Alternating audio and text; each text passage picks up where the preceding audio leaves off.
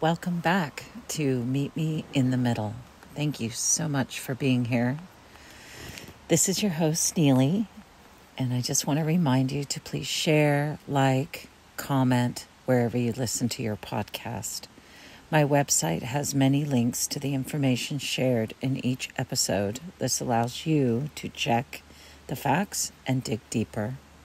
I also have social media links there too. Please follow me on Instagram, Twitter, Reddit, and Facebook.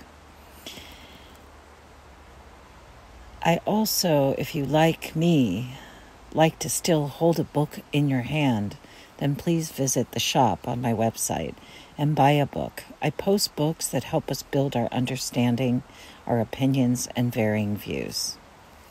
In this episode, we are covering the campaigns, committees, and conventions.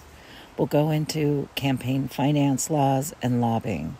We'll focus on the presidential elections, the primaries versus the general. And before we get into this episode, I want to recap a bit about the election laws and electoral college. There was much debate at the Constitutional Convention on how the president would be elected, and it's changed over time as we have discussed in previous episodes. I want to talk about why the presidential election is so different to the House of Representatives, senators, and state elections. It's the fact, the history. The fact is, the northern part of the nation had a larger population, and the southern part of the nation had a heavy slave population.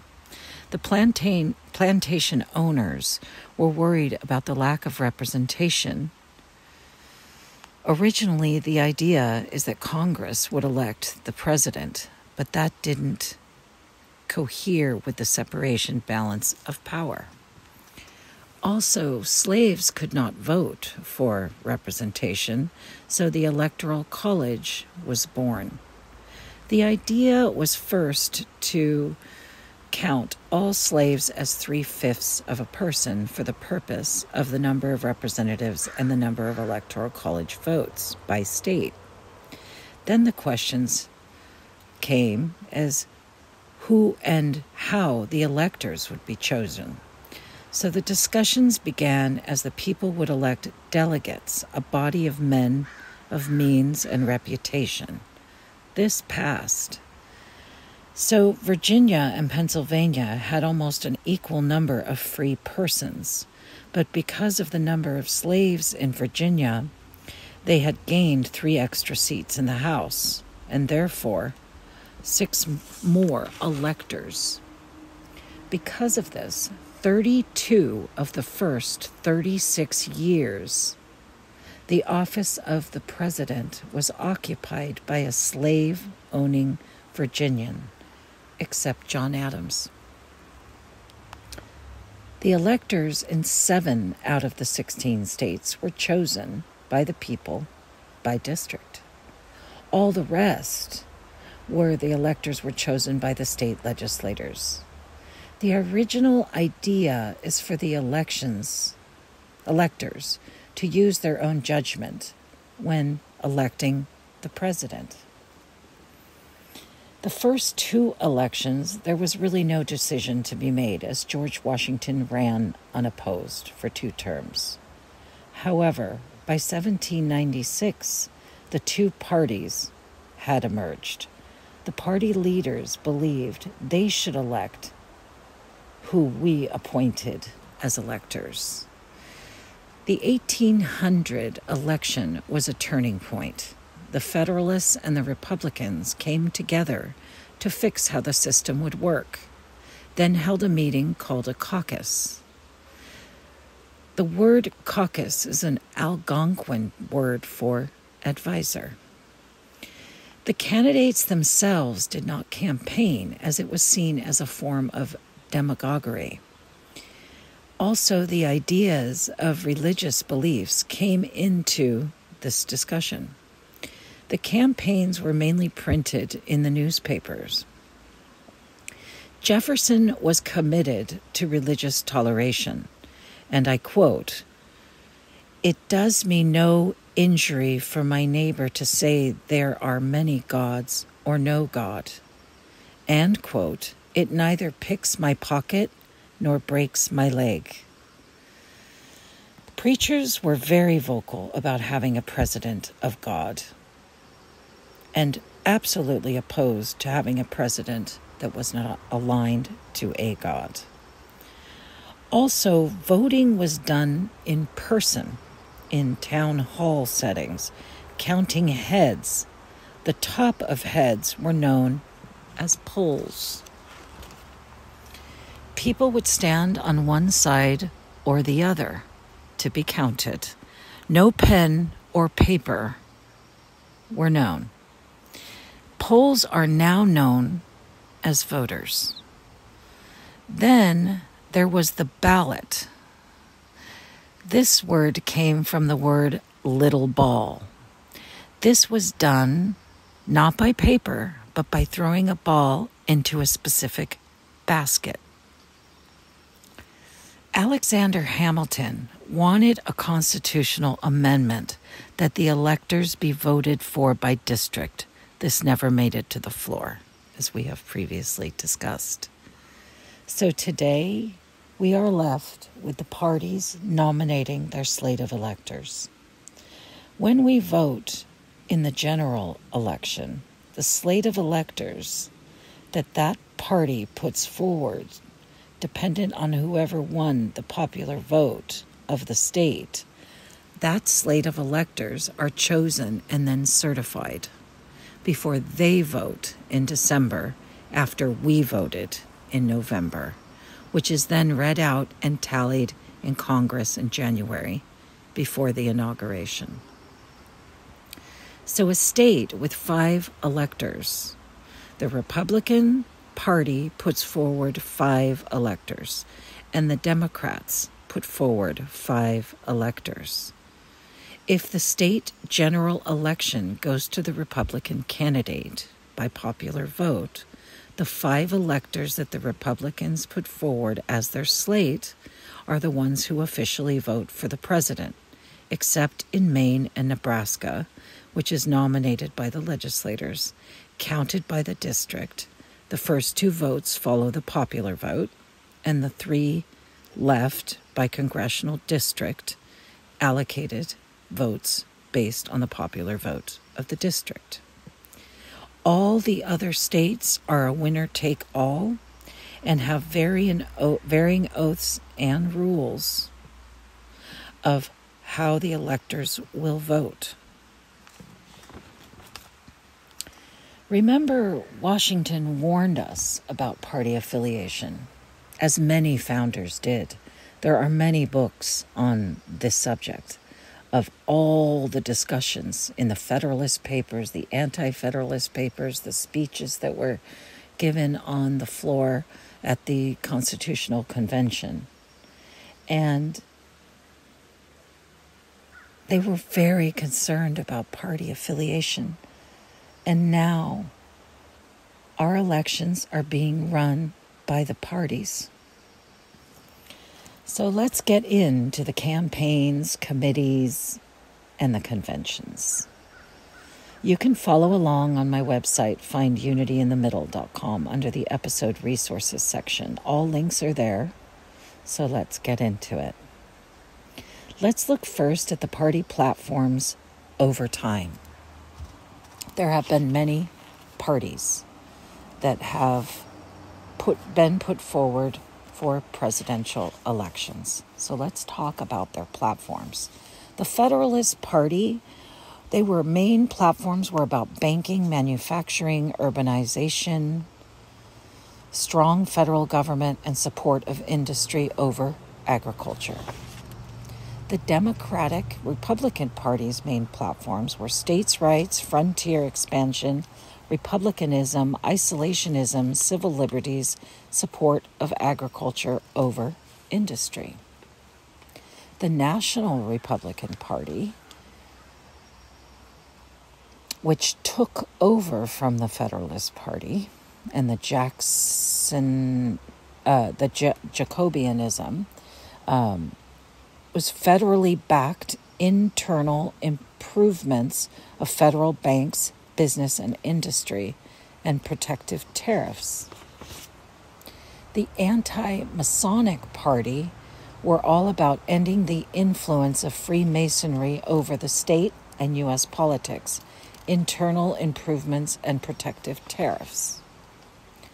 The Democratic Party of the 19th century, their main platform was states' rights, frontier expansion, opposition to uh, abolition, manifest destiny, popular sovereignty, rights of the common American, low tariffs, big business, especially later in the century. The Whig Party was protective tariffs, internal improvements, and infra- infrastructure, less centralized executive branch with limited veto power, national banks, and education reform. The Free Soil Party's platform was opposition to slavery's expansion into the U.S. territories, moderate tariffs to raise government revenue, subsidy, subsidies on limited basis for internal improvements, and enactment of a homestead law. The Republican Party of the 19th century were focused on abolition, unionism, protective tariffs, industrialization and urbanization, banking, gold standard, temperance, civil rights, and antitrust laws. The American Party, which also were kind of known as the Know Nothings Party, were all about anti immigration, anti Catholicism, prohibition, and unionism.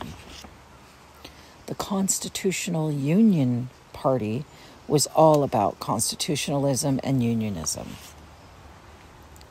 the People's Party was anti elitism, bimetallism, agrarianism, labor unions, and wealth distribution. The Socialist Party of America was about social democracy, labor unions, women's suffrage, wealth distribution, Marxism, opposition to capitalism, and fascism. The Progressive Party was about the regulation of business, lower tariffs, women's suffrage, workers' rights and protections, social welfare, and direct democracy. The 20th and the 21st century Republican Party is about corporate interest, isolationism early in the century, interventionism, and large military, low taxes, small government, civil rights, balanced budgets, states' rights, welfare reform, moralism, national security, and border control. The 20th and 21st century Democratic Party is about antitrust laws, economic regulations, strong federal government, social welfare, civil rights, women's rights, interventionism, larger military, anti poverty, labor unions, healthcare reform, gun control, and marriage equality.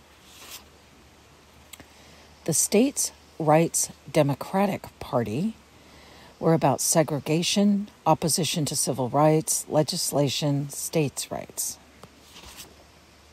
The American Independent Party. Ultra conservative policies, states' rights, tax reform, religious freedom, pro gun, pro life, anti gay marriage. The Libertarian Party about personal, corporate, and civil liberties, small government, small military, neutrality in foreign affairs, abortion rights, legalization of recreational drugs, free trade, open immigration, abolition of marriage as a legal contract, support of same sex unions, and elimination of income tax.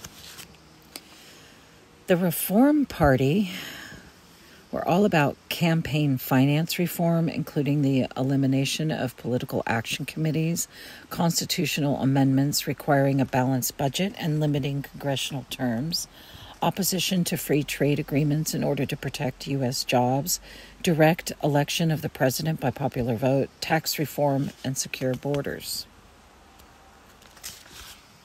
The Constitution Party was a right wing policies, nationalism, isolationism, anti tax, anti federal government, pro gun, anti immigration, strict constitutionalism, and Christian moralism. The Green Party was more of a left wing policies, universal health care, environmentalism, small military, social justice, women's rights, civil rights, marriage equality, and nonviolence.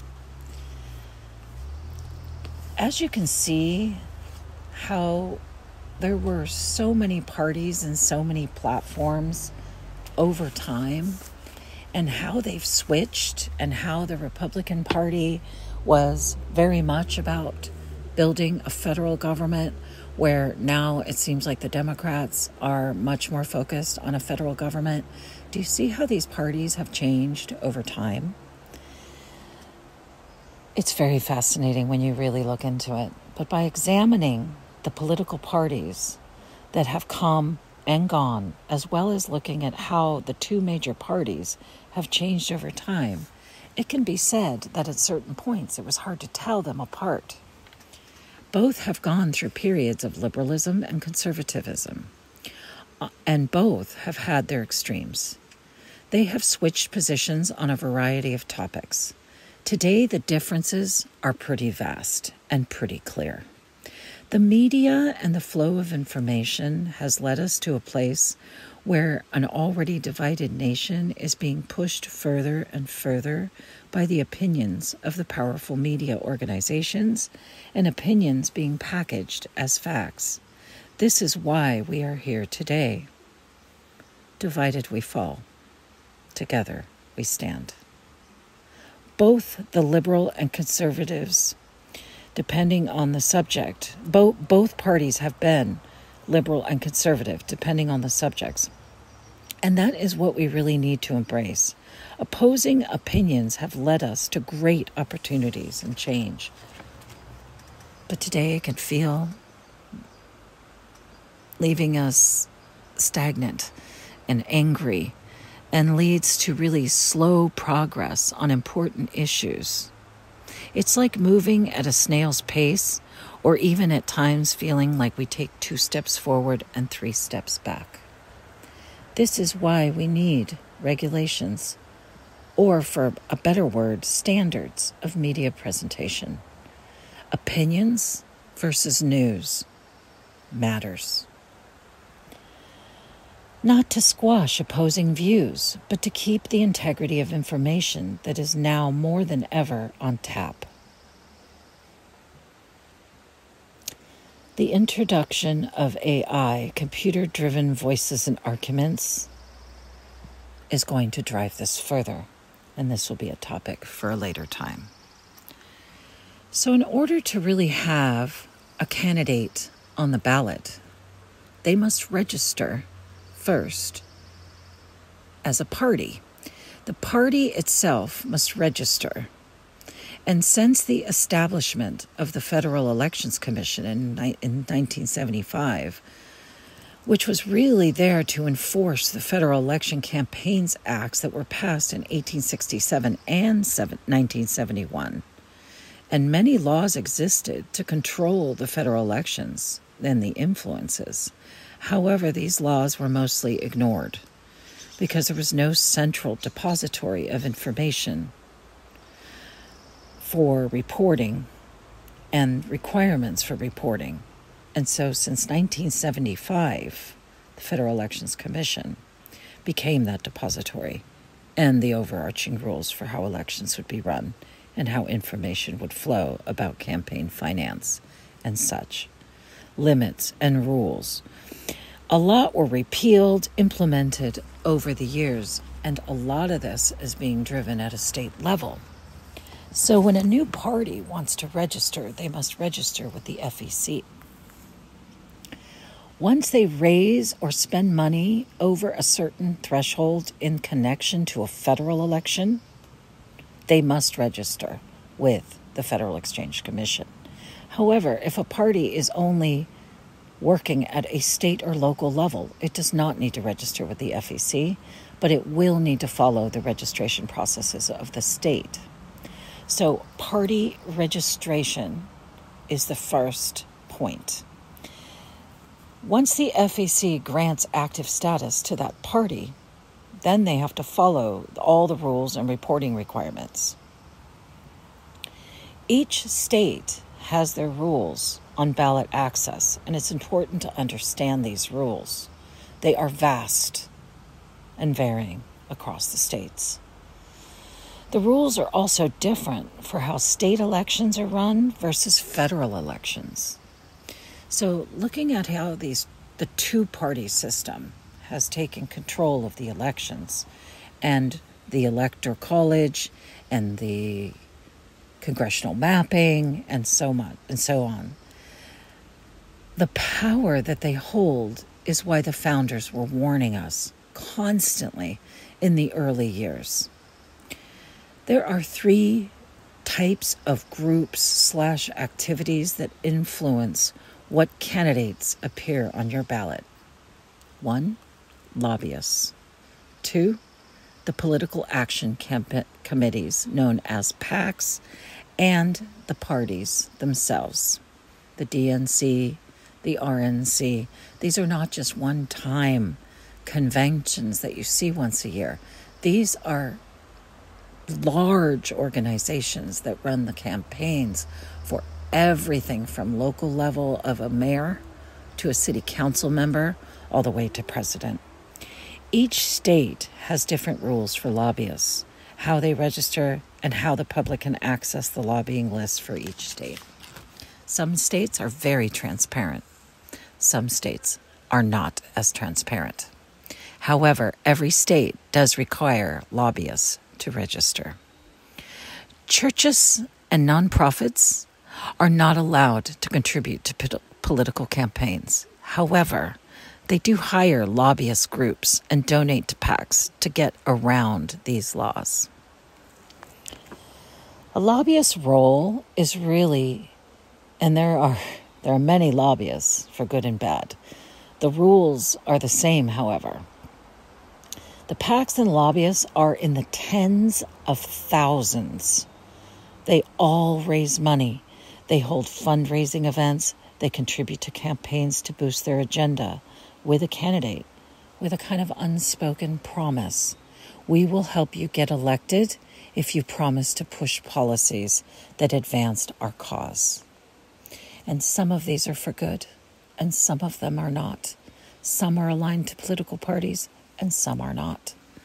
Prime examples of these are oil companies versus environmental groups, pro life versus pro choice, gun safety versus gun freedom. These are powerful.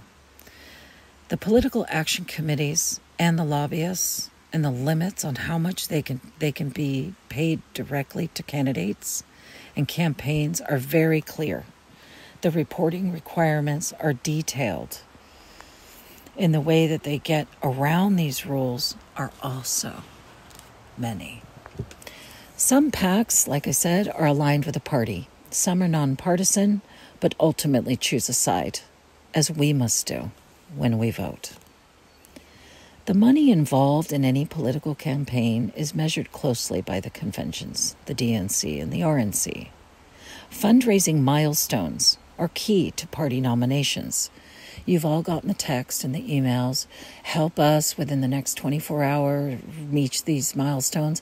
These are key to be pushed forward as a key nomination, even before the primary. In order to stay on the stage, it's really about the money they raise. Because until the primary vote, no one really knows what the numbers of voters are going to be. So they focus on the money that was raised. And since the money that is raised is varying by candidate depending on their platform and party affiliation, that's how the two parties stay in power. Let's think about that. It's not really vote, voter numbers that keep these people on that stage even though we really like a specific candidate as a voter. If they don't raise the money milestones, they get dropped out before the primary happens.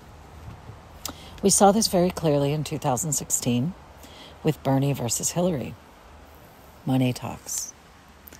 The power of the DNC and the RNC drives the candidates on the ballot. The primary is really important to participate because this is the voices of who we believe should be the candidates on the ballot for the general election. However, being able to vote in a primary really depends on what party you're affiliated with. And if you're like me, with no party affiliation, it makes it difficult, as in some states you have to register to vote in that primary. Some primaries are open, some primaries are closed, some primaries are partially opened, changed by year over year. It's very confusing. And this party affiliation, we're going to talk about a little bit more in the voting series at voter registration. But it's very important to understand how the states run their primaries and the parties, how they allow people to vote in the primaries. This drives candidates who are the party delegates local, statewide, House, and Senate, and President. No matter what or who, they have an overarching platform to push forward the party's agenda. Having the focus on campaign dollars distorts the issues of character, integrity, and suitability for office. We see this all the time on both sides. The limits of contributions by individuals, as well as by PACs, by party, by unions, is all very different. So I'm going to talk I'm going to just expose this for the top 4 states and then I do have a link that allows you to go into it in great detail. So, in Florida, an individual contribution to a candidate is limited on a statewide or candidate and it's $3,000 per person for a statewide or senator. A legislative or other judicial candidate is $1,000 per person per election. For the state party to the candidate contribution, a candidate for statewide office may accept contributions from the party uh, with an aggregate not to exceed $250,000. A legislative candidate can accept up to 50,000 from the party from the national or state executive committee, but cannot be combined at more than 50. A PAC and corporate and union contributions to the candidates are the same as the individual limits. 3000 for statewide 1000 for judicial. In California the individual to candidate contributions are 32,000 for governor candidate, 8100 for a statewide candidate, 4900 to the legislative candidate and 4900 to a city and county candidate. This is per election cycle per individual. The state party contributions to a candidate are 4900 for city and county. Otherwise, all others are unlimited. The PAC candidate to the candidate small contributor committees. Is 32,000 same as the individual. 16,000 for statewide for a governor and then 16,000 for statewide candidate. 9,700 for a legislative candidate. 9,700 for city and county candidates. The regular PACs, the big PACs, it's same as individual contributions. For corporate and union candidate contributions, it's the same as individual as well in California. New York, very different. So for the primary, statewide is 22,000 for an individual contribution to a candidate. For a Senate candidate, it's 7,500 and 4,700 for an Assembly candidate. Family limits apply also in the primary. For statewide, it's 155,000. So it's 22,000 per person, but 155,000 per family. And in the Senate, it's uh, 49,000. And in the Assembly, it's 21,000. The general election limits are different. Statewide candidate is 47,100. A Senate candidate is 11,800. And Assembly candidate is 4,700. Family limits also apply to the general election for individual contributions. So a family can contribute no more than 310,000. For a statewide candidate, a Senate candidate is 60,000 and an assembly candidate is 26,000. These amounts are per election cycle. In New York, the state party to candidate, it's prohibited in the primary election for any money to be paid or contributed from a state party. However, it's unlimited in a general election. For the PACs, it's same as the individual limits.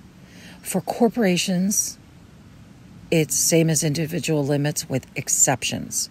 Corporations are limited to 5000 per year in aggregate contributions to New York State candidates and commission committees per year.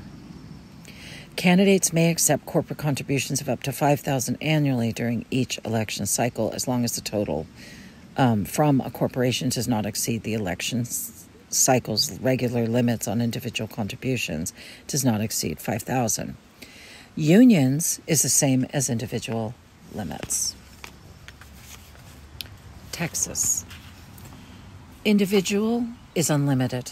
State party is unlimited. PAC, unlimited.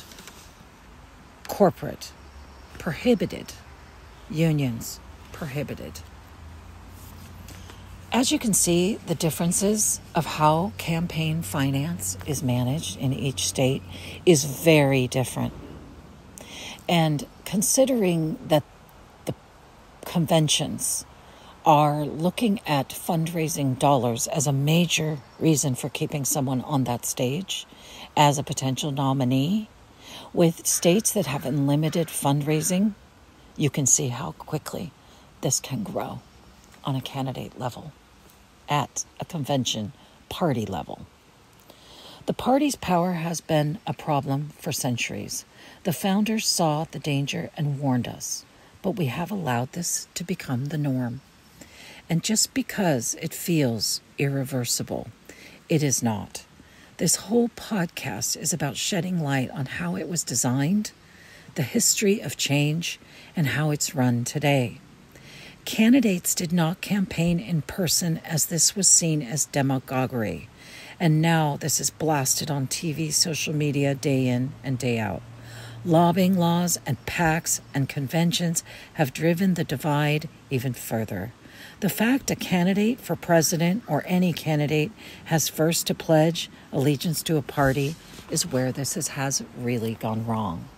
The fact that candidates are not considered for nomination if not meeting fundraising goals is another form of corruption, in my opinion, to our representation.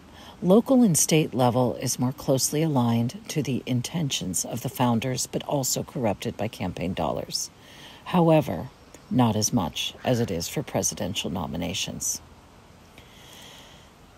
This concludes this episode. The next episode, we're going to talk about voting registration, voting rights, primary versus general election night, and electoral votes. Thank you so much for listening. And please visit my website. Please connect with me on social media. Look at your state laws. The more we know, the more we grow. We have the power. The structure supports us, the people. If we want change, we must dilute the power of the party and take back the power to the people. Until next time, meet me in the middle. That's where I'll be. Thank you for listening.